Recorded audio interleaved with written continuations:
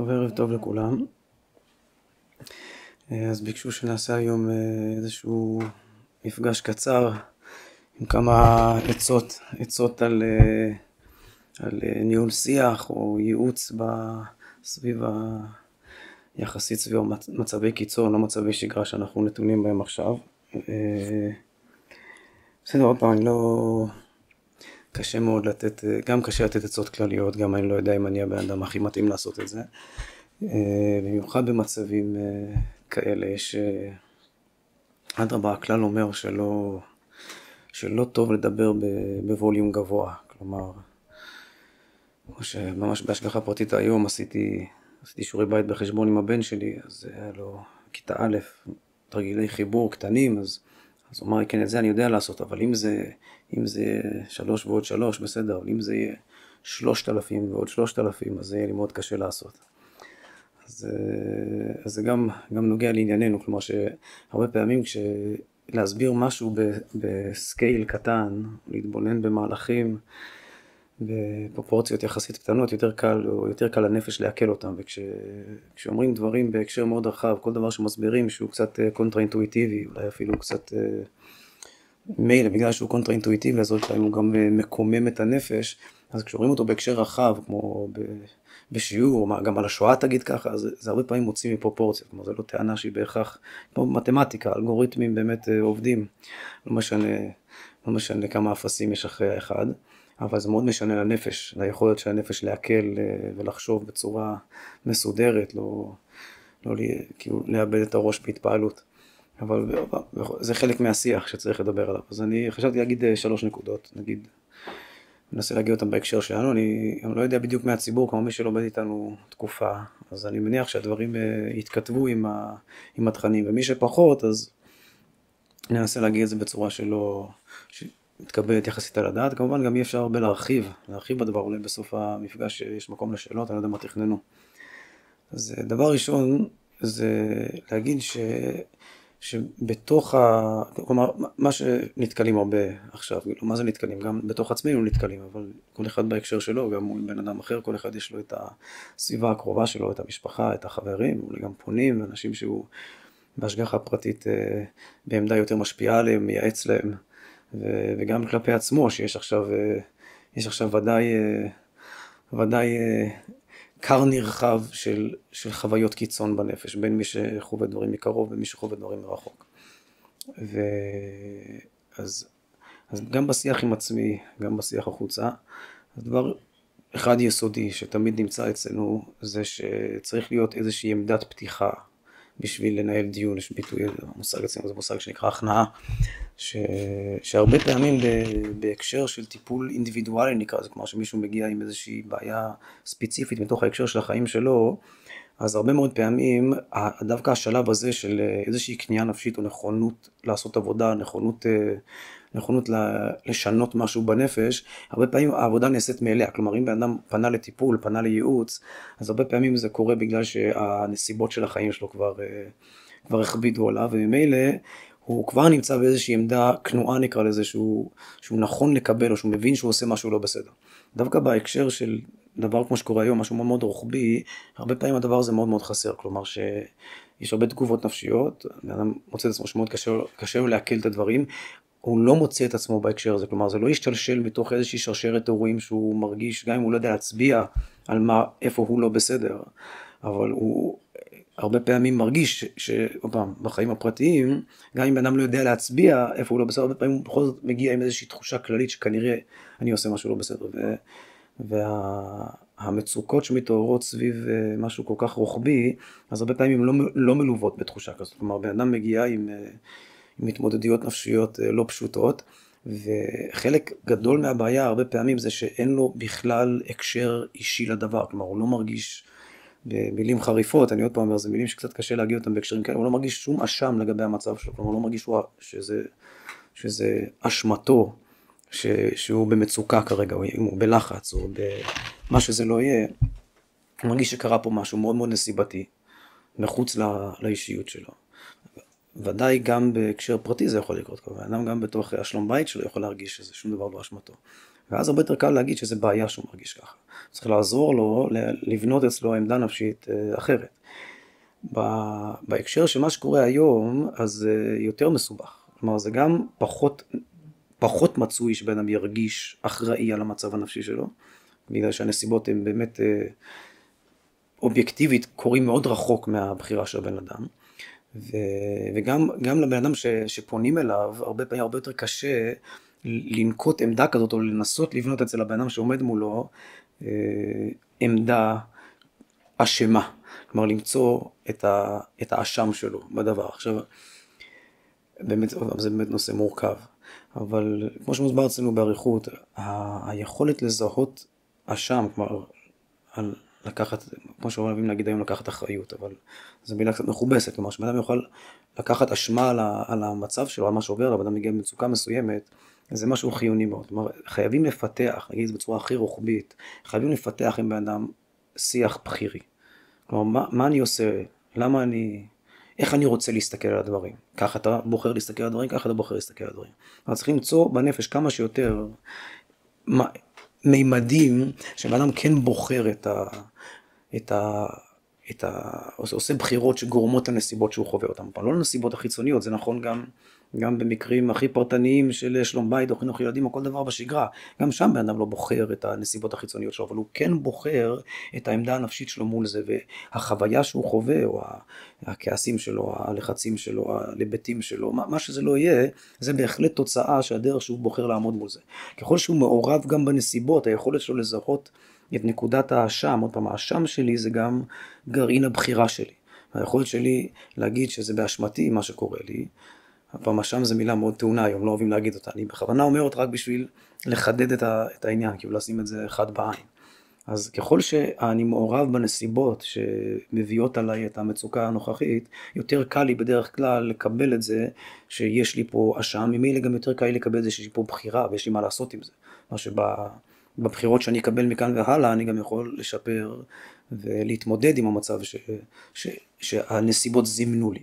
אז אף פעם הנסיבות הן לא אשמתי, ואני אף פעם לא יוצר את הנסיבות.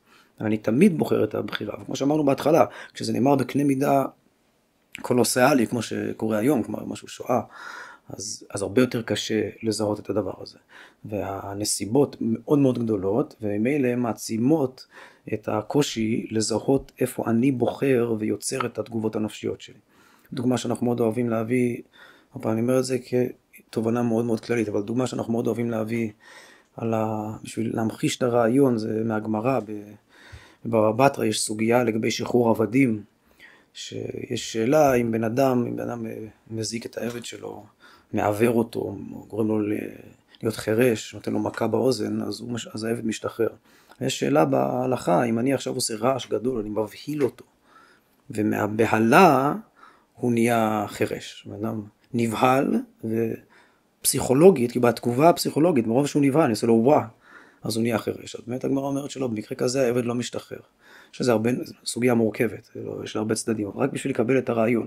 מה הלשון בגמרא? שם ש, שלא, הבן אדם נבהל בעצמו, כלומר, ההיבהלות, לא, לא, לא שעכשיו אומרים שהוא אשם בזה שמישהו קפץ עליו ברחוב, הוא לא אשם בזה, באמת אותו בן אדם לא בסדר, גם כתוב שהוא חייב בדיני שמיים. אבל בדיני בשר ודם, כלומר אי אפשר לדון כי את התגובה הנפשית של הבן אדם, לא שאומרים לו שהוא אשם בנסיבות, אבל הוא הבהיל את עצמו, זו דוגמה גם במקרה של אונס גמור, שבסוף אם בן אדם, אם רוצים לעזור לעצמי, למישהו אחר, אני חייב לזהות או להעצים כמה שיותר את הבכיריות של האדם סביב המצוקה שלו. עכשיו זה, אני, מה שאני אומר עכשיו זה כלל מאוד מאוד גדול, צריך ללמוד את זה בצורה רחבה, אבל בתור עצה יסודית, אז זה, כמובן צריך בזה גם המון המון רגישות, בטח בנסיבות מאוד קשות, אבל העזרה הראשונה שאפשר לתת לבן אדם, זה היסודית ביותר, זה אפילו רק לנהל איתו שיח בכירי. אפילו אם לא מצביעים על משהו מסוים ומתקשים, זה גם צריך באמת להכיר את הסיפור. יכול להיות מאוד מאוד מורכב, באמת לזהות מה הבן אדם עושה, מה הוא, איך הוא החליט להגיב, איך הוא בוחר להסתכל על משהו, שיוצר אצלו את, ה, את הדיסוננס, את מה שהוא עובר עליו. אז, אז להאשים ולמצוא בחירה זה אותו דבר כמעט. כל דיאגנוזה, זה בעצם להגיד לך מה אתה עושה לא בסדר.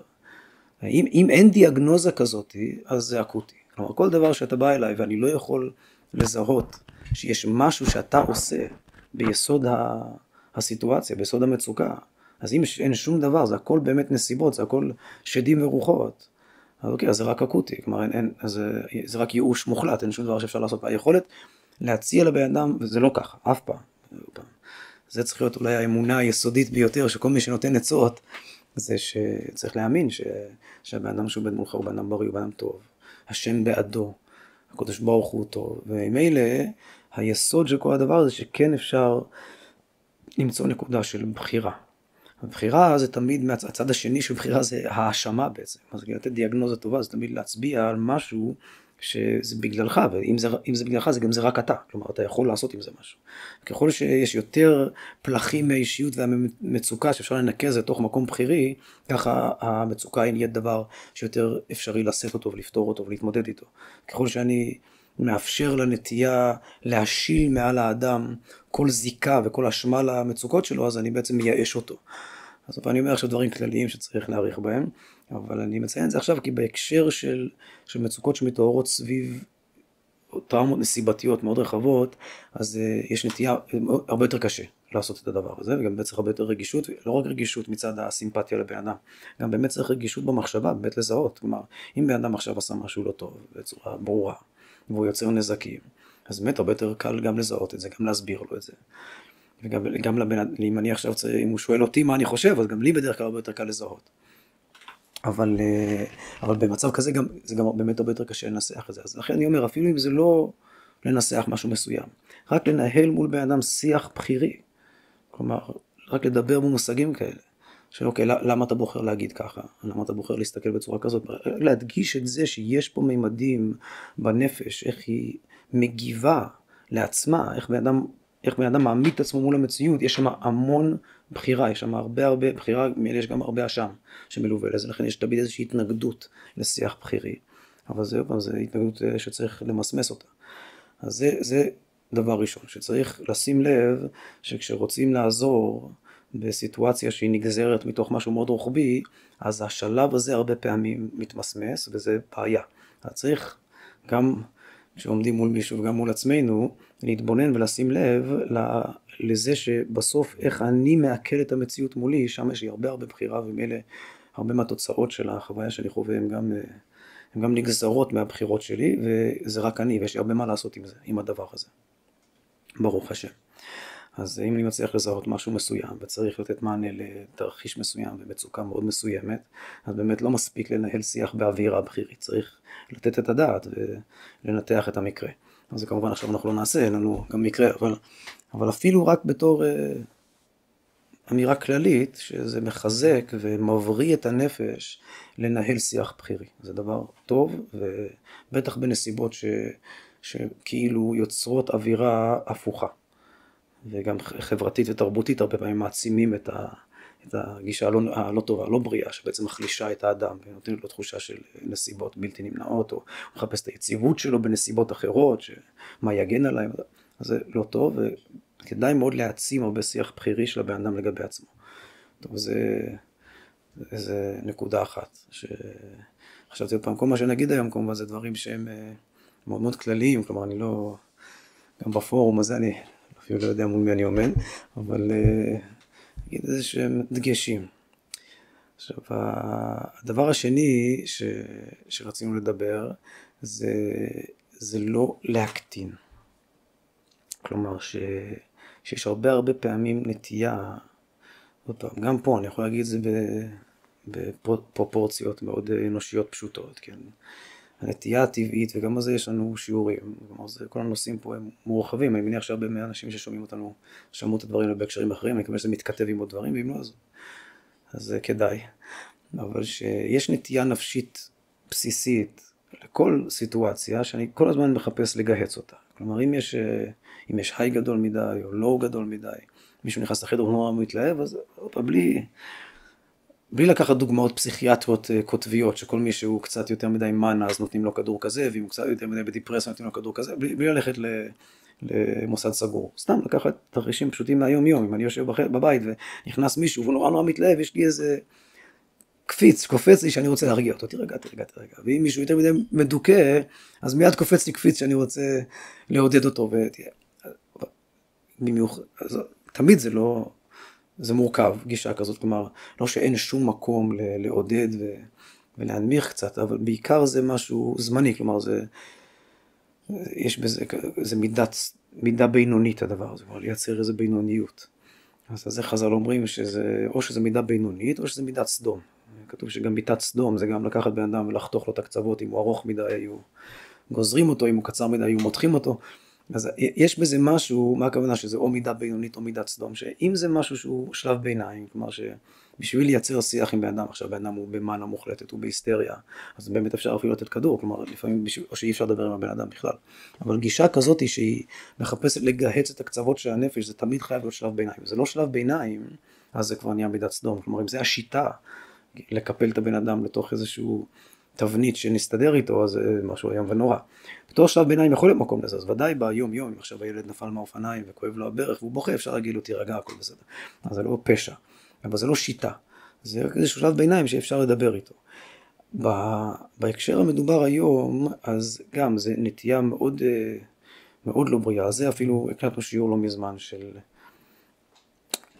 למה, או התמודדות עם פוסט טראומה בצורה מאוד רחבה, סביב הדבר הזה, כי סתם הרגשתי שזה מאוד מאוד נפוץ, ש... שיש בכלל נטייה להקטין את מה שמתרחש, כבר הרבה שנים אנחנו עושים את זה, כלומר לקחת כל אירוע, בין אם זה בהסבר האישי של בן אדם, בין אם זה ההסבר הלאומי או הציבורי שלנו, שמפחדים מדברים גדולים, מפחדים להגיד שיש פה מלחמה, מלחמת דת, או מלחמה של היהדות, או בכלל שאנחנו יהודים, שיש פה הקשר רחב, כלומר יש פה איזה סכסוך במזרח התיכון, וזה זה כבר משהו מאוד גדול. אם אפשר, אז בכלל יש פה סתם איזה מפגע בודד שהיה לו סכסוך עם אשתו ורק הלך לעשות משהו. כלומר, כמה שיותר להקטין את הדברים. הצורך הנפשי של בן אדם לעשות את זה, כמו, פעם, בדיוק כמו הצורך הנפשי, שכשמישהו נכנס יותר מדי בהתלהבות, אתה אומר לו להירגע, זה אותו צורך נפשי, כי אני, כאילו מלחיץ אותי גבולות גזרה רחבים מדי של, ה, של האישיות. אבל כשבן אדם נחשף לדברים מאוד מאוד קוטביים, ונמתחה לו האישיות, בין אם זה מישהו שהיה נוכח בדברים כאלו, הוא רק שומע עליהם. אז יש פה קצוות, או גם קצוות כלפי מעלה, גם קצוות כלפי מטה, כלומר יש פה גם גילויים של מסירות נפש אדירים. ואור מאוד גדול, אכפתיות וערבות אדירה, כלומר הבן אדם יוצא מהאנוכיות שלו, מרגיש, חושף מקומות בנפש ובשגרה שלו, הוא בכלל לא ידע כמה זיקה וערבות יש לו לעם ישראל, כמה הוא מוכן לעשות את החיים של עם ישראל. נחשפו אצלו דברים מאוד מאוד גדולים. מצד שני גם יש פה כמובן חשיפה להרבה כאב, הרבה מקומות מאוד uh, מיואשים וכבדים בנפש. והקצוות שבן אדם לא מורגל בהם, אז כשמנסים לגמד אותם, אז משאירים הרבה מטענים בלי, בתוך הנפש. כלומר, ההקשר שמעמידים את החוויה של הבן אדם מאוד מאוד חשובה לאפשרות שלו לעכל את מה שעובר עליו. אז אם אני עברתי חוויה מאוד מאוד קוטבית, ובסוף מספרים לי שהדבר הזה זה, זה זה רק אה, כאילו איזה אירוע נקודתי, זה סכסוך משפחות, כן, יש פה איזה... לא, אין פה, אין פה כמו שאני חוויתי, מלחמת האור בחושך, טוב ורע, קדושה וקליפה. זה לא, זה לא המשך ישיר ליהושע בן נון והמכבים, אלא זה סתם איזה שתי אנשים שבמקרה יש להם סכסוך שכנים, סכסוך טריטוריאלי על איזה פינה במזרח התיכון. אז אם אני אהיה חייב לקחת את כל התעצומות, כל החוויה שעברה עליי, ולהעמיד אותה בהקשר מאוד מצמצם, זה מאוד מאוד מקשה על הנפש. עכשיו, זה נכון גם בהיבט הלאומי והכללי של כולנו, שזה, עברנו על הדבר הזה ספציפית שיעור רחב, דבר מאוד מאוד חשוב, זה נכון גם ברמת השיח הפרטני בין, בין אנשים, כלומר, זה מאוד בריא וטוב להעמיד דברים בהקשר גדול, לתת לנפש להימתח, לא לנסות לצמצם אותה. הפוך, לתת אותיות ולהסביר לתת לבן אדם את, את האותיות, שיהיה לו את הנרטיב, לבנות מה, מה באמת קרה פה, כי הוא, הוא בעצמו לא מבין, הוא חווה מסירות נפש, הוא חווה משהו אדיר, אבל לא בטוח שיש לו בכלל אותיות כאלה, אולי הוא לא, לא מכיר את המכבים, או שהוא לא חושב על זה בהקשר הזה, שהוא לא, לא מסוגל, גם בגלל השיח החברתי היום, הוא, הוא לא מעלה על דעתו להעמיד את עצמו בהקשר הזה, שהוא, ה, שהוא הסף של מלחמות ישראל מזמן יהושע, הוא לא, לא חושב ככה, גם לא מספרים לו שזה ככה.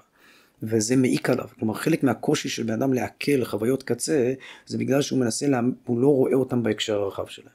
ולהעמיד בן אדם בהקשר האמיתי, הרחב של העם שלנו, של הציבור שלנו, זה בעצם לעזור לו לשאת הרבה מהרוחב שהוא חווה בנפש שלו. אז, אז לא לנסות, כאילו, לא, לא להיסחף אחרי האינטואיציה של לגמד דברים או לעודד מיד. לא, כאילו, לתת לתאומות, באמת יש פה תאומות של רוע עצום, וזה באמת ככה. וזה זה לא, זה לא, זה לא משהו מקומי, זה לא איזה, איזה ערבי אחד שקפץ לו הפיוז, לא, יש פה משהו מובנה, ויש מיליארדים כאלה, וממש כל הזמן מחפשים, נכון? וכל דור ודור עומדים עלינו לחלוטין, זה אפילו לא חדש, זה כבר אלפי שנים ככה, וזה באמת אין לנו פתרון לזה. זה לא זבנג וגמרנו, לא בגלל ש... שיקולים גיאופוליטיים, פשוט כי זה ענק, זה לא בידיים שלנו, בדיוק כמו שבן אדם חווה עכשיו. מי שחשוף לדברים האלה, אז הוא יודע את האמת הזאת בתוך עצמו, כי הוא חווה את זה בתוך הנפש. וגם הטוב של האדם, כאילו תעצומות הנפש שמתגלות היום, זה גם דבר שהוא ענק על הנפש, הוא הרבה יותר גדול מהמודע הפשוט של כל אחד מאיתנו. כלומר, מתגלה אצלנו היחידה הכללית של כל עם ישראל, אצל כל פרט ופרט. וזה מה שהעמיד העמיד את משה רבינו ואת ישוע, בן נון ואת כל גיבורי ישראל ושמשון והמכבים והחלוצים שהקימו את הארץ והמסירות נפש של השואה והאינקוויזיציה וכל מה ש... כל מי שאנחנו, כל מי שהזהות שלנו. עכשיו אם, אם, אם כל הדבר הזה צריך לעכל את הקצוות שנחשפים היום, אז זה, זה אפילו יכול להבריא אותנו, להעצים אותנו. עם כל הכאב, עם כל הקושי וגם עם כל האור שיש בזה. אבל אם לא נותנים בזה, כל הזמן מנסים לגמד את זה או לקבל את זה תוך גבולות גזרה כאילו ברות עיכול, אז זה, זה בר עיכול לחברה ולבן אדם שמקשיב, אבל זה פחות בר עיכול לבן אדם שחווה את זה, כי אצלו כבר נמתח. אז זה עוד נקודה, שלא לא טוב לנסות לגמד ולהקטין. צריך לתת אותיות, להסביר, לנסח טוב את הקצוות. לא לנסות לגמד אותם, לא, לגהץ את הבן אדם, או לדמיין שאפשר להחזיר אותו לאיזה אפרוריות מתונה. וגם בצד הלא טוב שלו, כלומר, נכון, שיש, ש... שאולי בן אדם מרגיש כמה הוא יכול לשקוע לאנוכיות ואינדיבידואליות ולהיות אטום, כמה השגרה שלו אטומה למקומות כל כך גדולים באישיות שלו, וכמה זה עצוב לחיות ככה, נכון?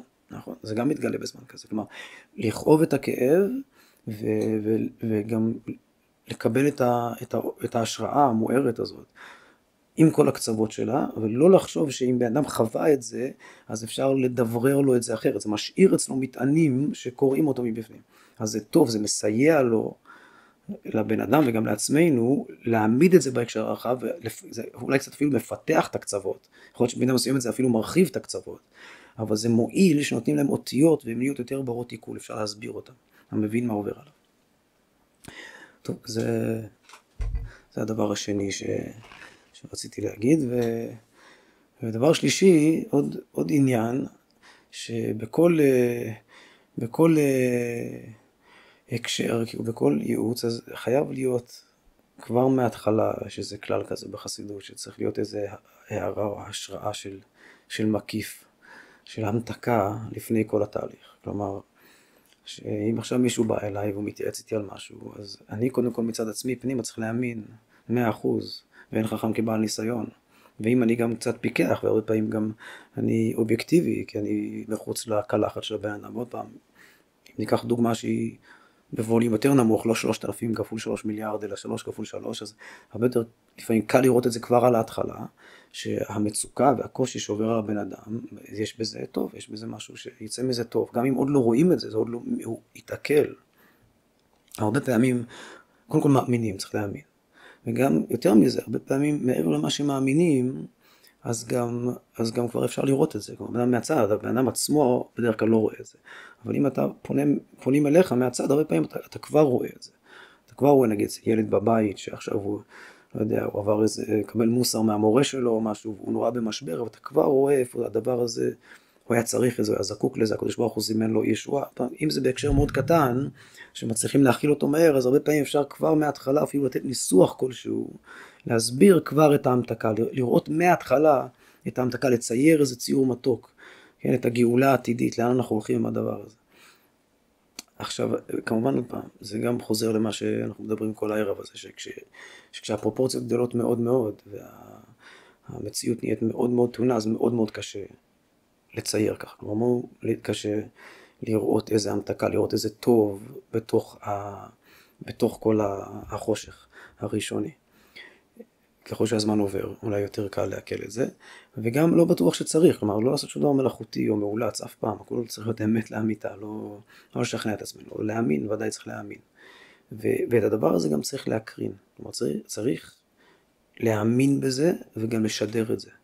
שבסוף הדבר הזה הוא, הוא טוב לך. עכשיו, עוד פעם, בין בהקשר הפרטי של בן אדם שעכשיו עובר משהו מסוים, גם המצוקה שלו, כל מה שלא יהיה, כל המכלול, איך שהוא נמצא עכשיו, כולל התגובה הלא נכונה הנפשית שלו, כולל הכל, יש פה הכל משהו טוב. וגם האירוע, גם, ה, גם התרחיש החיצוני, כמה שהוא ענק בהקשר שאנחנו מדברים, עדיין, גם צריך להאמין בזה, וגם כמה שניתן לזהות מאוד בעדינות ולנסח אותיות לעצמנו כבר קצת, מה, מה אפילו, איפה אפשר להתחיל לראות הניצנים נראו בארץ.